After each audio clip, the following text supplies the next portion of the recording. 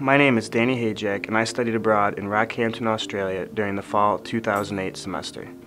I attended CQ University as a junior communication studies major. While I was at CQ University, I lived in a single room residence hall.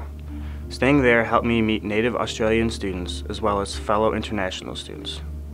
The best course I took while abroad was called Outdoor Pursuits. We went scuba diving, sailing, kayaking, and canoeing, all for college credit.